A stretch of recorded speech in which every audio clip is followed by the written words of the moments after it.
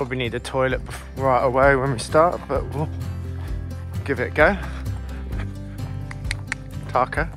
Right, morning everybody. So I was making a short video for one of my clients who owns this dog here today. So I thought I'd do a little commentary over the top of it to show you where I'm at. So this is a young bitch. She's about five, uh, five and a half months, I believe, something like that.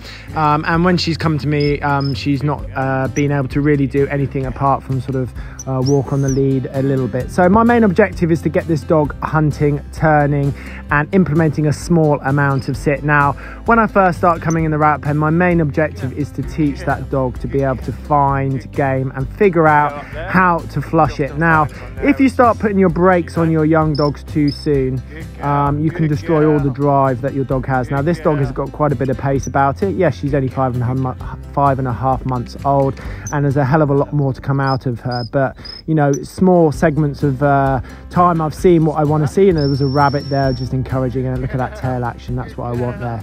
So my objective is to get this dog hunting, turning, quartering, and sitting in the end. Um, that probably is going to take some time because, as I said, my main objective is, is, for that dog to learn how to find game while uh, creating uh, enough control to never allow it to uh, go out of control, so to speak.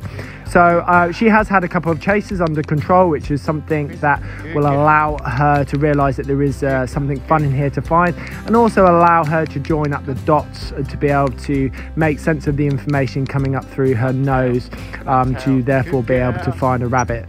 Now I'm now at the stage where if she does find a rabbit, I just do enough just to dis discourage her from chasing it, but I'm not putting the brakes on by any means at all. Uh, there's a lot more pace to come out of this dog and as that pace comes I can start to put in more and more control. So I've got a pip for a turn um, I've got to stop like that but it will be uh, in no more um, uh, of a pressured situation than that at the moment so I'm just walking her to heel here I'm going to sit her back up again uh, then I'm going to cast her off again. You'll see she's got a training line on there. That always allows me to get hold of her if I need to.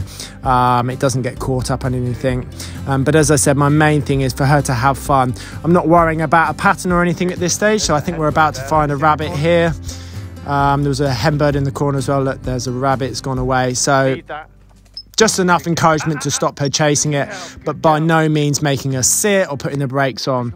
Um, as I said, over the next two or three months, I'm sure she will gather more and more pace. As she does so, I can start to create a pattern and then create more control. But you're still a little bit of hesitance uh, here, as you just saw there. But as I said, until the dog is flowing with as much as pace as I feel that dog uh, is capable of, I will not be looking at stopping the dog on a flush. I just don't want it to develop into anything other than that. I'm doing a few little recalls in as well because that's something she wasn't very good at doing. I wanted to come in, you can see her tail's wagging there, front feet on my chest, and then I give her some praise. I ask her to sit when I stand up and then I cast her back off again. Look, that lovely bit of energy there, letting her run on a little bit.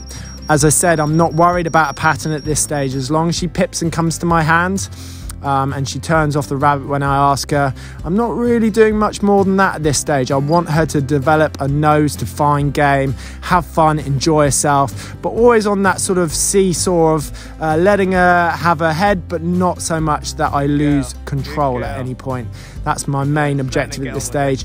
And it can take a little while, you know, um, it's not going to happen in five minutes. Now, obviously, what I'm doing here is very different from what I might have to do with an older dog that has experience. But certainly for a young dog like this, this is the way I prefer to go. Anyway, I hope you've enjoyed this. I think she has. Hopefully, catch you soon, guys. Cheers.